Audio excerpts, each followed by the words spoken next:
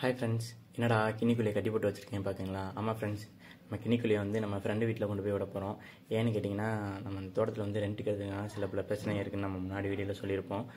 அந்த வீடியோ பார்க்காதவங்க கமெண்டில் பின் பண்ணி வச்சுருக்கேன். போய் பின் பார்த்துக்குங்க. அதனால் சேஃபாக கொண்டு போய் ஃப்ரெண்டு வீட்டில் விடுறதுக்காண்டி இவங்களை கட்டி போட்டு வச்சுருக்கேன்.